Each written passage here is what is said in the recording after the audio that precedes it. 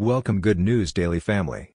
Today we are showing you an amazing 1949 Mercury Coupe that has been retro-modded to include a Tesla battery pack, changing it from a gas-powered vehicle to all-electric.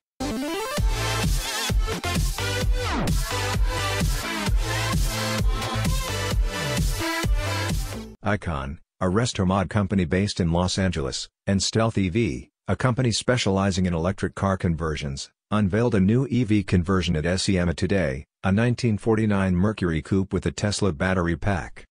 They say that the 1949 Mercury EV derelict was commissioned by a longtime client, who gave Icon the go-ahead to push the boundaries of design and engineering. The concept of resto-modding involves restoring older vehicles while adding new technology to make them safer and more convenient. In this case, Icon said that it forensically disassembled the body, replaced all rubber, added insulation and sound-deadening products everywhere. It then reassembled the vehicle in a manner that tried to make it look like nothing had been touched. A robust four-wheel independent chassis was developed with Art Morrison Enterprises alongside Brembo brakes. As for the powertrain, that's where Stealth EV came in to help. Here's how they describe it. The dual electric motor, no transmission design provides 470 pounds-to-foot of freight train torque and the equivalent of 400 horsepower with no shifts all the way up to the Merc's 120 miles per hour top speed. A full Tesla Performance 85 kWh battery array is strategically fit throughout the vehicle for exceptional weight balance. It is capable of an estimated 150 to 200 mile range and has 1.5 hour full recharge capability. Icon positioned a CHAdeMO 125A fast charger plugged behind the tilting front license plate frame and also converted the original gas filler into a Tesla supercharger plug to expedite in-transit charging.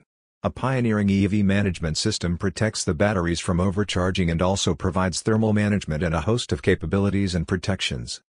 In order to maintain some of the vintage look with the modern electric powertrain, they built a custom aluminum engine enclosure that actually houses the battery controllers and a few of the Tesla modules. They also added other convenience features like electric AC and controls to support modern components and functions. Here's a video of the Mercury in action.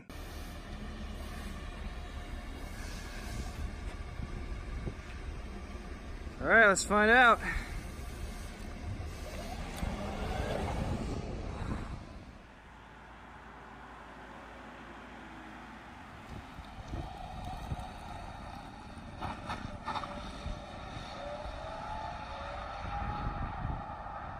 Thank you for watching.